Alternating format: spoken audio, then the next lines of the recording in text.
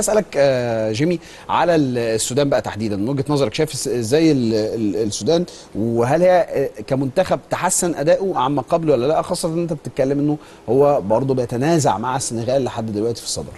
خليني أقول لك يا إبراهيم لما تيجي تتكلم على المجموعة دي تحديدا لازم ما تفصلهاش عن الشكل العام اللي أنتوا كنتوا بتتكلموا عليه في البداية. رقم واحد انت بتتكلم على فترات متباعدة جدا. فده لازم تربطه بالحالة بتاع كل الفرق إنها هتتغير من وقت للتاني. حالة الفرق قبل أمم أفريقيا شيء وما بعد أمم أفريقيا يبقى شيء آخر والاستعدادات والحضور والغيابات اللي موجودة. رقم اتنين ال 72 ساعة الفترة الزمنية اللي موجودة ما بين المباراة والثانيه ثلاث أيام انت بتتكلم على انه كل الفرق كل الفرق الكبيرة اللي عندها سكواد يسمح غيرت من خمس لست لاعبين ما بين المباراة الأولى والثانيه ايا كانت الأسماء وايا كان المنافس. ليه؟ علشان انت بتتكلم عليه بتتكلم على الفرق الزمني فرق المسافات بتتكلم على الحضور بتاع بعض اللاعبين. حتى في أوروبا لسه ال- الموسم ما شدش. لسه ما وصلناش ل Boxing Days كتير في ال Premier League لسه ما وصلناش لماتشات في ال Champions League مع ماتشات في الدوريات المحلية الأوروبية. فأنت بتتكلم على حتى ده لسه ما وصلش اللعيبة لل rhythm ده. فأنت بتتكلم على إنه أنت لا لسه ما وصلتش لده. فأنت حتى اللعيبة اللي بتلعب في أوروبا اللي هو في فرق كتير. هنتكلم تفصيليا على فريق فريق من النجوم اللي عنده وبيعملوا إيه.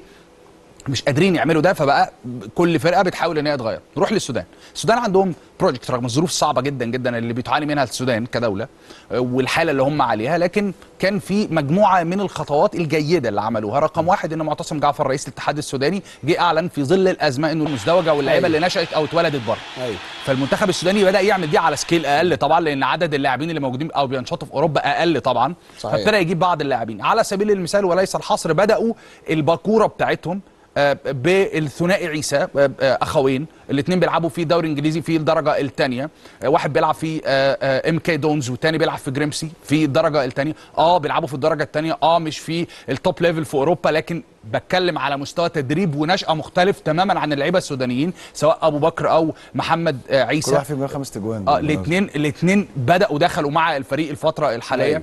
بيعتمدوا كمان على سيف تيري لعيب ممتاز بيلعب فيه عندنا في الدوري المصري في فرقة فاركو. ابتدوا في اثنين لعيبة خلاص كانوا موجودين في القاهرة أول أمس عشان يكملوا معاهم التصفيات. ثنائي بي- بي- بيلعبوا في استراليا. آه، آه، آه، محمد آدم وعبد الرحمن كوكو ثنائي لسه داخلين.